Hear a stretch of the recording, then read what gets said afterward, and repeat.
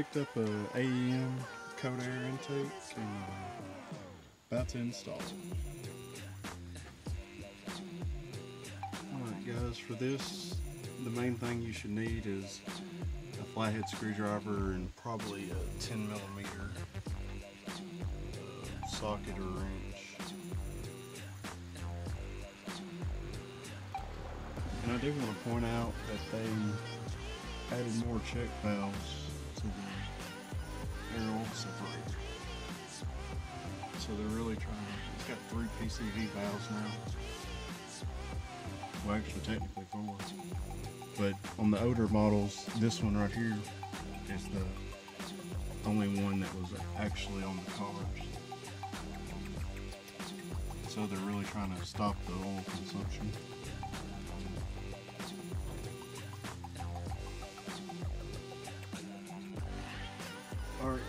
First thing you want to do is you just turn this with the flathead screwdriver and, and then pop it up. And then we'll remove this piece first. And then it'll detach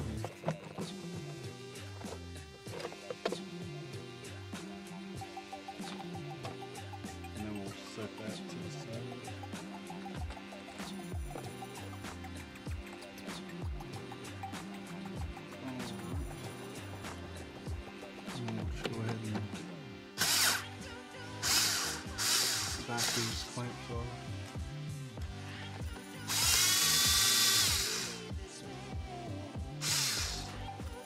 Set that to the side. Take these little out. Alright, and that's gonna be down. Then you're gonna take a 10 millimeter and break all these loose, or just these two. and then take those off.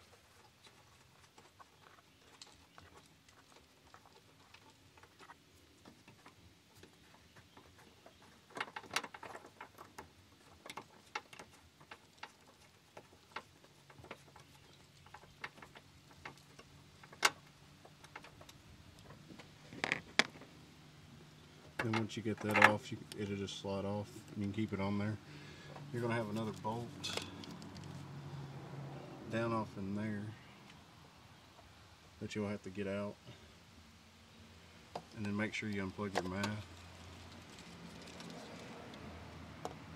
but after you get that bolt out you can pop this out and I'll get that bolt out and then show you alright guys I got the stock box out uh, we're gonna pull the mass airflow sensor off of it put it on the new intake and then get the new intake installed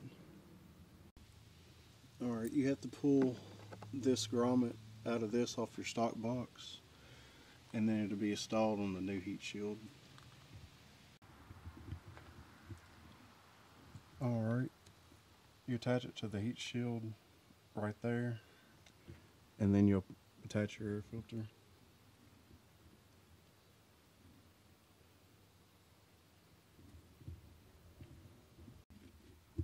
Alright, when you get it back off in there, you'll just tighten up these.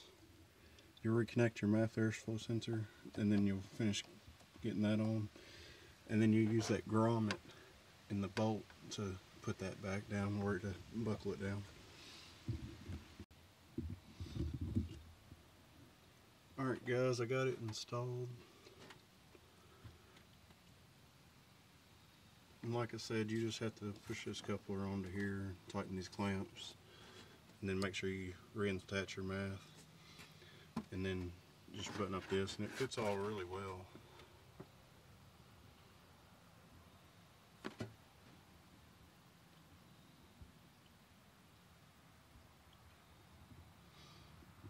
And then like I said, you'll reuse that grommet and that'll hold.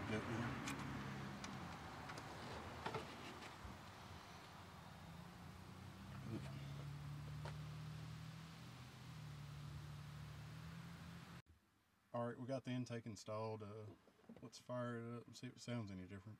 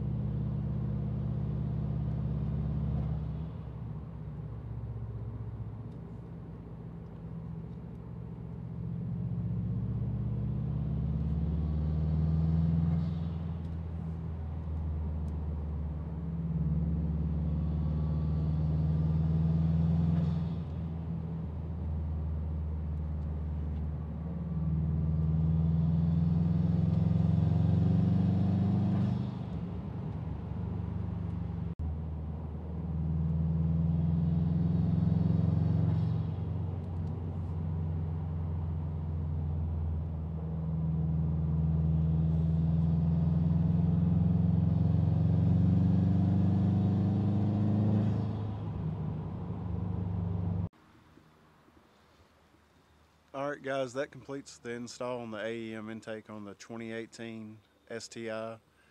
Um, if you have any questions, drop a comment below. Um, I'll try to post, post another video, uh, at least one video a week on Thursdays. And like I said, if you got any questions, just feel free to ask, um, and I'll try to help you out as much as I can.